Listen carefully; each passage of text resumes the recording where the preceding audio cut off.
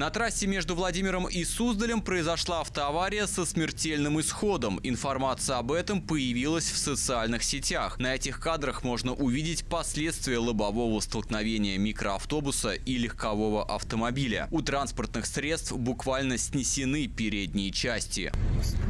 Автор этого сообщения в социальных сетях уточнил, автоавария произошла недалеко от поворота на поселок Садовый Суздальского района. По словам одного из очевидцев ДТП, Рено Дастер вылетел на встречную полосу. На встречку вылетела женщина на Дастере. Но в ГИБДД пока не подтверждают и не опровергают информацию о виновнике аварии. Как уточняют дорожные полицейские, ДТП произошло примерно в 12 часов дня на 270-м километре федеральной трассы Р-132 22 «Золотое кольцо». Причем участниками ДТП стали три автомобиля. Дорожные полицейские подтвердили, женщина-водитель Рено Дастер скончалась в результате этого происшествия. Столкнулись три автомобиля. Рено Дастер, Volkswagen Crafter и Hyundai Santa Fe. В результате данного столкновения женщина-водитель Рено Дастер скончалась на месте происшествия, а водитель Volkswagen Crafter получил травму. Сейчас дорожные полицейские устанавливают все обстоятельства произошедшего ДТП.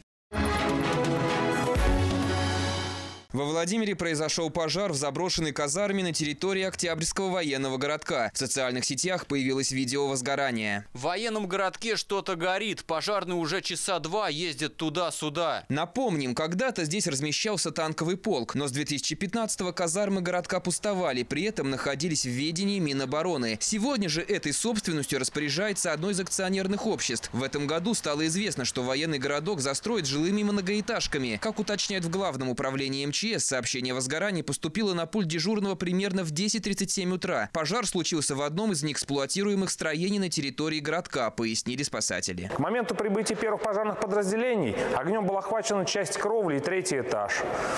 Сложность тушения пожара заключалась в том, что на территории отсутствовали подъезды и удаленность противопожарных водоисточников. Пожар был ликвидирован на площади 400 квадратных метров. К тушению пожара привлекалось 7 единиц техники, 30 человек лишь состава. Погибших и пострадавших нет. В настоящее время дознаватель МЧС устанавливает причину пожара.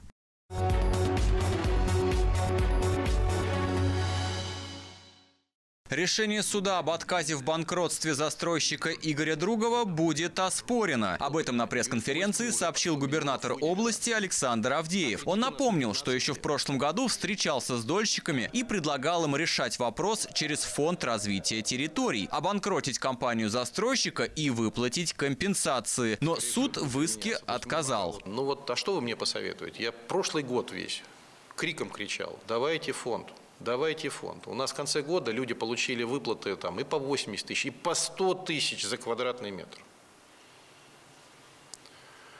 Ну тут вот даже некоторые здесь присутствуют, тоже говорили, что не надо, люди не хотят фонд, не надо банкротить, не надо банкротить другого.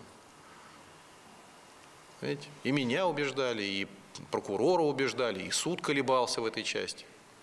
А теперь что? Напомним, компания Игоря Другова не смогла сдать жилые комплексы в срок. Застройщик утверждал, что в связи со всеобщим подорожанием цен у него возникли проблемы. В итоге было возбуждено уголовное дело о мошенничестве в особо крупном размере. А Фонд развития территорий попытался обанкротить застройщика. И тут дольщики действительно разделились на два лагеря. Одни говорили, что не хотят компенсации, потому что боятся копеечных выплат, на которые ничего не купишь. Другие согласны были получить вместо квартиры деньги, боясь остаться вообще ни с чем. Эту историю мы активно вели на протяжении всего минувшего года. И вот, в суде федеральный фонд проиграл. Игорь Другов должен своими силами достраивать объекты. Его представительница в феврале дала понять, что застройщик готов завершить стройку. Планируется поступление денежных средств конец февраля, начало марта э, и продолжение строительных работ ну, соответственно, весь текущий год поступления денежных средств. После этого областные власти поставили задачу перед Игорем Друговым предоставить дорожные карты по каждому из объектов строительства до конца февраля. Мы позвонили застройщику, он пока воздержался от комментариев. Но как теперь область будет помогать дольщикам? В ходе пресс-конференции губернатор так ответил на этот вопрос. Вот вы говорите, значит, самое, ну,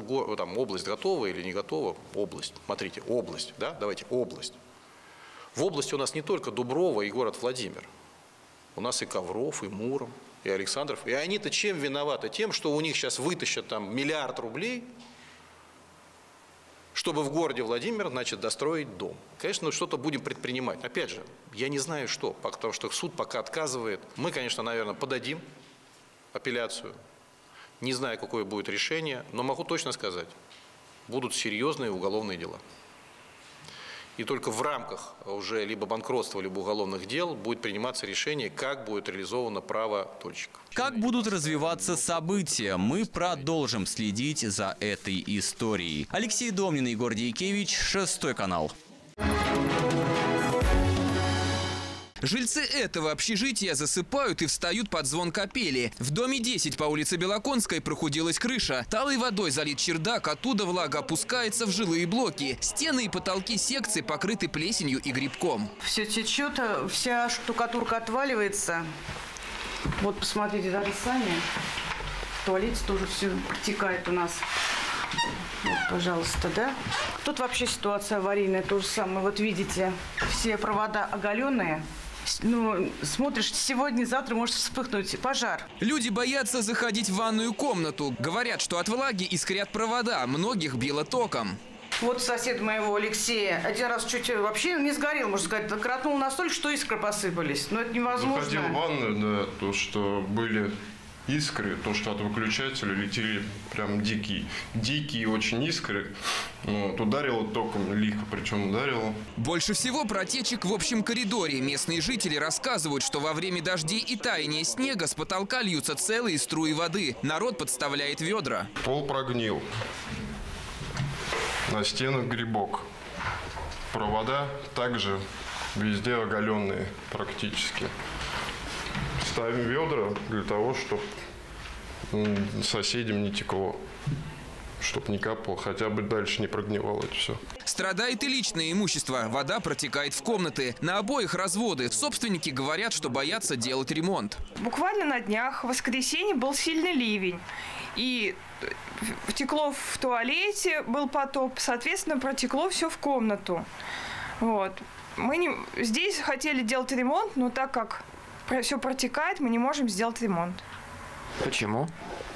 Потому что придется опять делать ремонт. Люди уверены, нужен капитальный ремонт дома. О своих проблемах они сообщали в госжилинспекцию, властям, управляющую компанию и фонд капремонта. Народу пообещали, что капремонт крыши будет выполнен уже в этом году. Вышеуказанный многоквартирный дом включен администрацией города Владимира в краткосрочный план капитального ремонта многоквартирных домов на 2023-2025 годы с ремонтом крыши в 2023 году. Но до капремонта еще надо дожить. Жильцы задаются вопросом, как спастись от потопов сейчас. Конечно, мы хотим капитальный ремонт, чтобы нам сейчас сделали. Но это еще летом, а сейчас на данный момент пускай сделают хотя бы текущий ремонт какой-то, пускай заплатки поставят.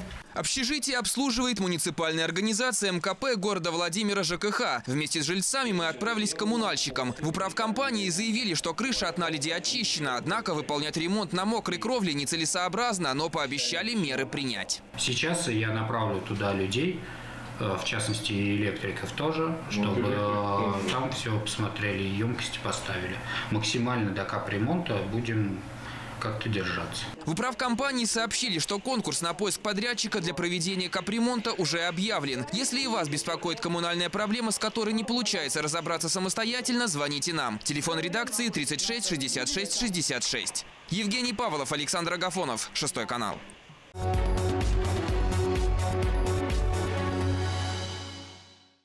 Подполе вода, все соленья, лук и картошка просто поплыли, жалуются пенсионеры. Неприятный инцидент случился у жителей дома номер 69 на улице Вокзальной. Мне понравился лучок. Я полезла, говорю, пойду сейчас достану. Спустилась, говорю, что это такое тут светится-то? А, вода! Я туда пониже спустился, туда палку сунул, она вот там у меня плава, палка-то. Жители рассказывают, этому дому 75 лет и такое затопление произошло впервые. Но сырость присутствовала всегда. Здание стоит в самой низине. В межсезонье со всей округи сюда стекает вода. Влага, да, даже вот у меня второй этаж, и все равно в квартире сыро, влажно.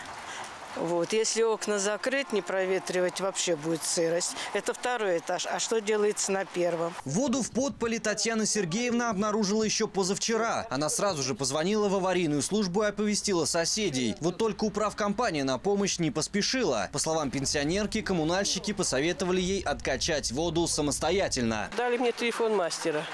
Мастер говорит, вот вы сами откачиваете, сами э, там зарываете, вы там все сами что-то наделали, и ручейки сами пробиваете. Я говорю, у нас мы старики, кто там нас что будет делать-то? В управкомпании объяснили, по технической документации этих подполов не существует. Когда-то давно их вырыли сами жители. Именно поэтому коммунальная служба не спешила откачивать воду. Интересно, что пока наша съемочная группа ехала в управкомпанию, пенсионерам успели прислать рабочую бригаду. В данный момент там сейчас работает бригада рабочих во главе с главным инженером.